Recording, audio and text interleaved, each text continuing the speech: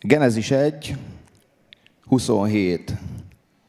Teremti tehát az Isten az embert az ő képére, Isten képére teremti őt, férfiúvá és asszonyjá teremti őket. És akkor nézzük ezt a tükröt, amiben látjuk saját magunkat, és keressük benne az Isten képűséget. Hiszen hát ez van megírva, hogy Isten az embert Isten képűvé teremtette. Vizsgálódunk, keresünk a tagjainkban, a tükör nem mutatja. De hát teljesen rendben van ez így, hiszen azt mondja az írás, hogy az Isten szellem. A tagjainkban nem biztos, hogy meg fogjuk őt találni. Aztán keressük őt a jellemvolásainkban, és hamar találkozunk a hibáinkkal. És minél jobban fürkészük ezt a tükröt, annál több problémával találkozunk. Annál több hiányossággal, annál több bűnnel, annál több olyan dologgal, ami bár soha meg nem történt volna, és keresztényként belenézünk ebbe a tükörbe, keressük az istenképűséget, és találkozunk mindazzal, ami nem istenképű. És már nem is egy istenképű embert látunk ott a tükörben. De hát Isten azt mondja a Szentírásban, hogy megteremtette az embert önmaga hasonlatosságára. Én azt szeretném kérni, hogy tegye fel a kezét az, aki ember ebben a teremben.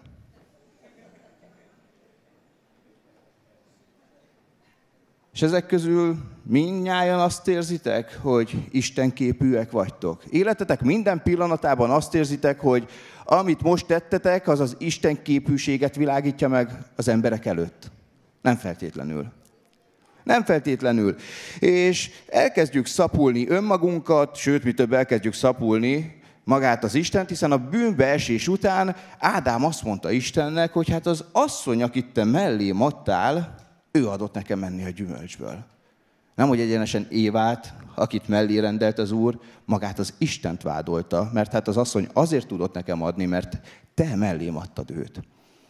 És akkor elkezdjük az Istent megítélni azok a cselekedetek alapján, azok a döntések alapján, amelyeket mi hozunk ebben a világban. És az Isten képű ember szépen lassan kreál magának egy emberképű Istent.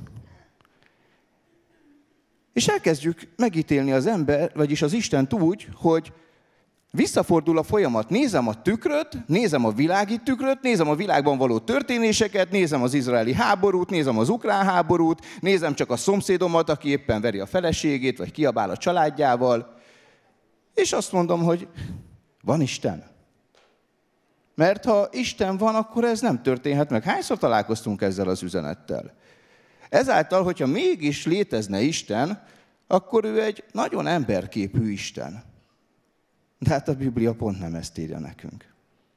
És hogyha elidőzünk egy picit a Biblia üzeneteiben, akkor egy egészen másmilyen Istennel fogunk találkozni. Mert hogy a Genezis egyben látjuk, hogy az Isten teremt az ő szavával. Megteremti ezt az egész csodálatos világot. A Genezis kettőben viszont azt olvassuk, hogy egészen közel jön hozzánk Isten. Amikor éhesek vagytok, sőt, amikor a párotok éhes, vagy a gyermekeitek valamelyike éhes, akkor vagy rendelünk ételt, vagy mi magunk készítünk ételt. De vajon melyikben van a szeretet? Melyikben van a több szeretet? Melyikben van a több törődés? Melyikben van a több odaszánás? Nyilvánvalóan abban, amikor én magam készítem ezt az egészet el, ugye? Mert hát oda időt szánok, oda a szívemet szánom, és hát jól tudom, hogy az a legfinomabb, amiben a szív meg a lélek benne van. Világevő úr. Szóval, amiben benne van minden, benne vagyok én magam, az a legfinomabb. És akkor a Genezis egy után olvasok kettőben, hogy Isten megalkotá az embert a földnek porából. Még az egyben azt olvastuk, hogy Isten szólt. Ebben a kettőben már igazán közel jön a történésekhez, és bemutatja azt, hogy már pedig ő ezt, az idézőjeles vacsorát saját maga főzte meg. Ő ezt saját maga készítette el.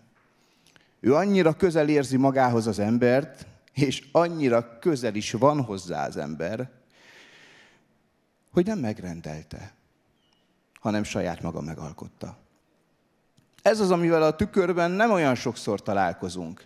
Ez az, amit nap mint nap megteszünk a családunkért, De a tükörben nézve nem nagyon találkozunk ezzel az üzenettel. És akkor ezek után az ember szépen elhajlott az üzenettől, elhajlott attól, hogy megtartsa az Isten egyetlen egy kérését, hogy ne egyen a fának gyümölcséből, amely egy jó tanács volt az emberre nézve, mert hogy azon a napon az ember meghal. És akkor az ember mégiscsak tudjuk jól, hogy szakított ennek a fának a gyümölcséből, evett belőle, és megtörtént a bűneset. De hogyha nem az Isten szavát követte az ember ebben a pillanatban, és az ember Isten képű, akkor tulajdonképpen, amikor elkövette a bűnt, akkor csak Isten csalta meg. Mert hogy mi azt mondjuk a bűnre, hogy az Isten akaratától való elhajlás, az Istennel való szembemenetel. De hogyha én Isten képű vagyok, ha én ebben a világban őt közvetítem, ha, ha az a parancs számomra, hogy uralkodjak a világnak minden állatán, mert én vagyok itt, a helytartó, én vagyok az Isten fiú, akkor amikor ezt az egészet megcsalom, amikor az Isten akaratától elhajlok, amikor magától az Isten személyétől elhajlok, nem elhajlok el saját magamtól is, saját magam identitásától is. Nem -e ez az ok, amiért az identitásunkat meg kell találnunk Krisztusban? Nem -e ez az üzenet, amit visszakaptunk Jézus Krisztusban, hogy fiak vagyunk? Nem -e ez a kapcsolat helyreállítása? Hiszen az Isten és az Isten fiú között minden esetben kapcsolat kell, hogy legyen. De amikor belenézünk ebbe a tükörbe, minden esetben érezzük ezt a kapcsolatot? Minden esetben azt érezzük, hogy méltó az ember a kapcsolatra. És mivel méltónak nem érzi magát, ezért valószínűleg nincs is. És megint ott tartunk a problémánál, hogy elveszítettük az Isten képűséget. De az Isten tovább megy ebben a történetben, mert többszörösen is kijelenti azt, hogy mennyire szereti az embert. Ugyanis megtörtént ez a bűneset, és az Isten képű ember, aki abban a pillanatban elvesztette azt az öntudatát, hogy ő Isten képű, elbújt egy barlangban. Mire jött az Isten, és kereste az embert. Isten eltűnt azonnal ebből a történetből? Nem tűnt el az Isten. Kereste az embert. Az ember viszont eltűnt. Az ember bemászott egy barlangba. Az ember, akinek azt az utasítást adta Jézus, hogy legyen a világ világossága, világítson mindenki számára, hogy az Isten láthatóvá legyen, önmaga bújt be a sötétségbe, és veszítette el a fényét. Majd az Isten azt mondta, rendben van, Isten képű emberből alkottatok emberképű Istent. Különböző teóriák, különböző okok, hogy miért ne higgyünk, különböző okok, hogy miért nem vagyunk alkalmasak a kapcsolatra, különböző okok, hogy miért nem jó az Isten. És teremtettetek magatoknak olyan isteneket, amelyek láthatóak, aranyborjút, olyan történéseket a világban, amelyre ráhúztátok azt, hogy Istentől származik, emberi cselekvéseket. És teljesen kimúlt ez az Isten képűség. És Isten nem azt mondta erre, hogy rendben, legyen ez így. Ezt választottátok, történjen meg. Szakadjunk el egymástól.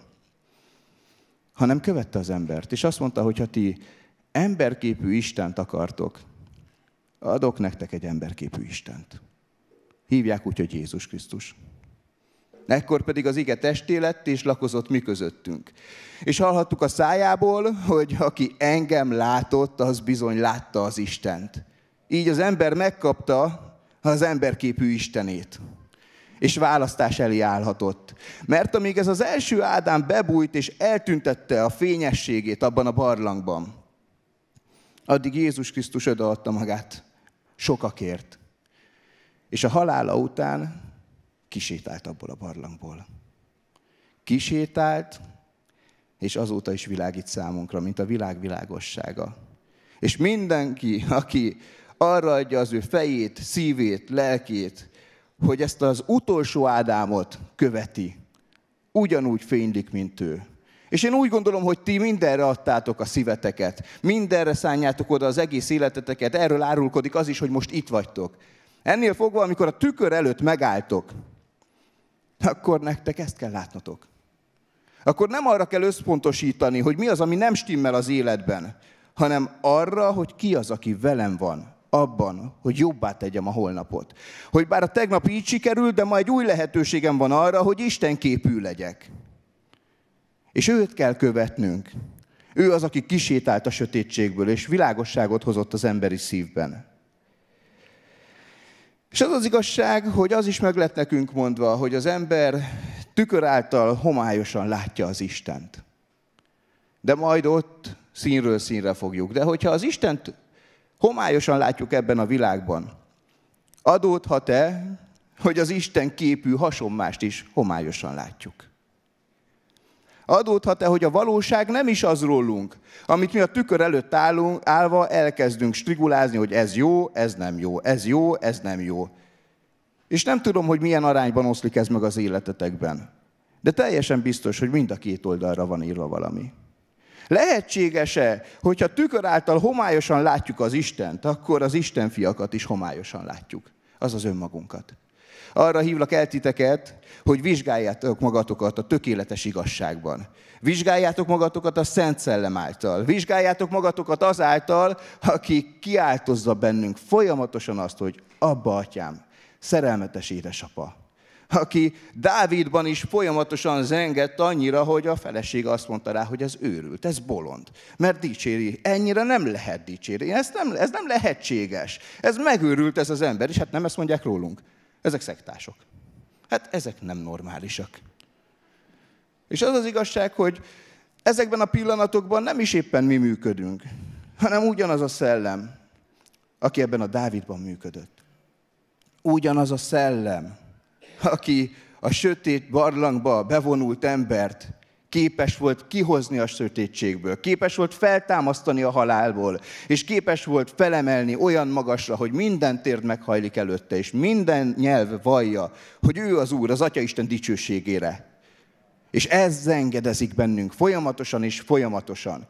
És ez az, ami kapcsolatot teremt magával a teremtővel, imádságban, vagy éppen dicséreténeklésben. Mert tehát nem ezt tette Dávid is. Nem ezt tette Jézus is a Gecsemánéban, amikor már tudta, hogy nagyon-nagyon kevés van hátra, és ami rávár, az nagyon súlyos. Énekelt az Úrnak. Amikor mi dicsérjük az Urat, akkor van egy különleges kapcsolat Isten és ember között. Akkor én hiszem, hogy a hétköznapokban az a távolság, amit a tükör által homályosan látunk, és nem érezzük, hogy mennyire közelség valójában, az leomlik, eltűnik. A dicséret az, amikor az ember találkozik az Istennel úgy, hogy érzi, hogy Isten fogja a kezét. Érzi, hogy nem csak nyúl a magasságba, és el akar érni valamit, amit nem sikerül, hanem jön ez az Isten, megfogja a kezét, és átöleli az embert. És amikor dicsérjük őt, akkor folyamatosan ez történik. És hát ez a Zsoltáros, ez a Dávid is folyamatosan ezt csinálta, és akkor ebből vehetjük azt, hogy a Zsoltárosok, a Zsoltárírók Ilyen minőségben imádták ezt az urat, és én szeretnék elővenni egy Zsoltárt. Ez pedig a 104. És mivel a teremtés témáját hoztam nektek, amely Istent magasztalja, szóljon egy Zsoltár, egy hálaadó ének az Istennek, amelyet minden bizonyal a Szent Szellem ihletett, mert azt mondja nekünk az írás, hogy bárki, aki valaha szólt, az az Isten Szent Szellem által szólt és írt. Áldjad én lelkem az Urat. Uram, én Istenem, nagy vagy Te, igen. Ékességet és fenséget öltöztél magadra. Aki körülvette magát világossággal, mint egy öltözettel, és kiterjesztette az egeket, mint egy kárpitot. Ő fundálta a földet az, osz, az ő oszlopain. Nem mozdul az meg, soha örökké. Éneklek az Úrnak egész életemben. Zengedezek az én Istenemnek, amíg vagyok. Legyen kedves néki az én rebegésem. Örvendezem én az Úrban. Vesszenek el a bűnösök a földről, és a hitetlenek ne legyenek többé. Áldjat én lelkem az Urat. Dicsérjétek az Urat. Én azt kívánom mindenkinek, hogy mielőtt belekezdenénk a dicséretekbe, ezzel az életérzéssel menjünk ma bele. Érezzük azt, hogy az az Isten, akit tükör által homályosan látunk, és ez a tükör mi magunkat is távol tart, önmagunk világosságától, tisztánlátásától, ez most, ez most tűnjön el, ez most tisztuljon ki. Legyen a dicséret az, amiben megengedjük magunknak, hogy Isten egészen közel jöjjön. Mert a bűneset után Isten kereste az embert, az ember viszont elbújt. Bújjunk ki a barlangból, áldjuk együtt az Urat, emlékezzünk meg az ő hatalmasságáról. Ámen.